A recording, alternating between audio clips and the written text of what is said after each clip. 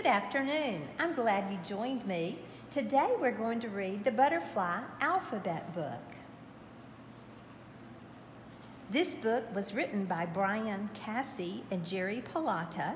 It was illustrated by Mark Astrella.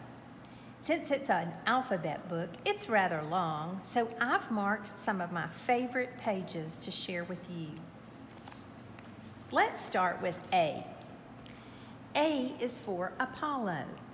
Apollo butterflies are the high-flying champions of the butterfly world. They have been seen almost four miles up in the mountains of Asia.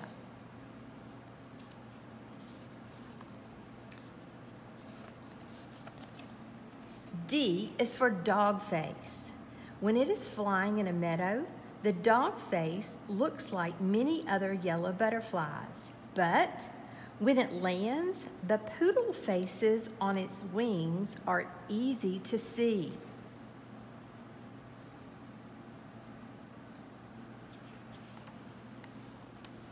G. G is for great purple hair streak.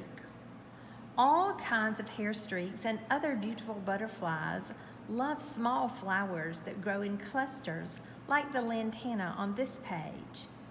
Planting, especially to attract butterflies, is called butterfly gardening.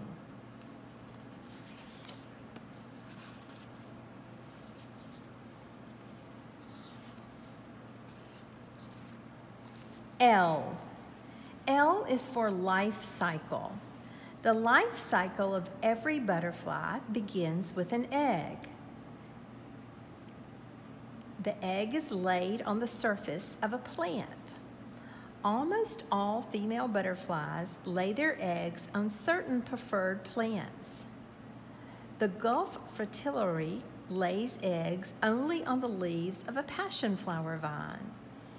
Its caterpillar hatches from the egg and begins eating the leaf on which it was born. After growing and shedding its skin several times, the caterpillar pupates into a chrysalis.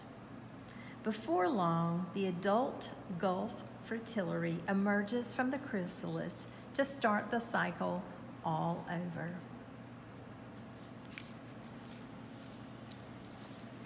Q.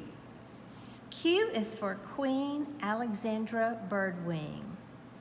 Of the 20,000 or so known species of butterflies that exist in the world, this is the largest. This butterfly painting is its actual size.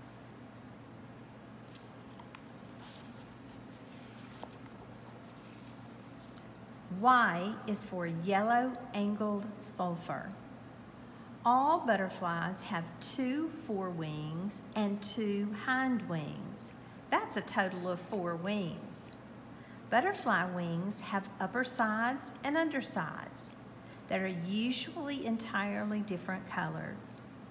Can you find the two yellow angled sulfur butterflies in this illustration? Did you see it? One, two. Would you like to make a butterfly finger puppet with me? When you're finished, yours might look something like this.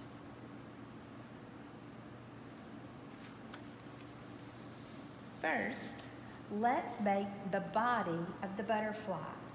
This is where your finger will have to be placed. So, let's create a tube that your finger will fit into easily. Not too tight though. You want to get your finger out easily. You'll snip that page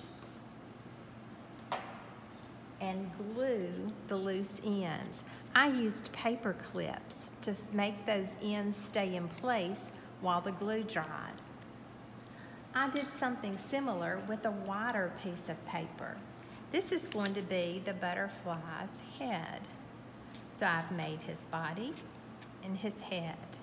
Now, let's make his wings.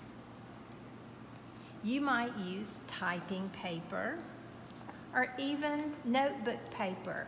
You can make those lines, you can color those lines and create a really pretty pattern. Or if you have colored paper, feel free to use it. Here's how I made mine. Take a sheet of paper, fold it in half. Now you'll notice that I outlined one half of the butterfly. I laid the body right there so I could decide about how big the butterfly's wings needed to be. Do a thumbs up. That's the shape you're looking for. It'll be a little bit bigger, almost like a mitten with a gigantic thumb. Once you've traced around one side, you'll cut out your butterfly. Remember, cut around the line, not the fold, so that when you unfold the paper, you will have an entire set of wings, all four. You'll want to glue your body down and your head. Use your scrap papers to make some antennae. I created some eyes with some little scraps of paper and a Sharpie. Now I'm ready to have my own butterfly puppet show. Won't you join me?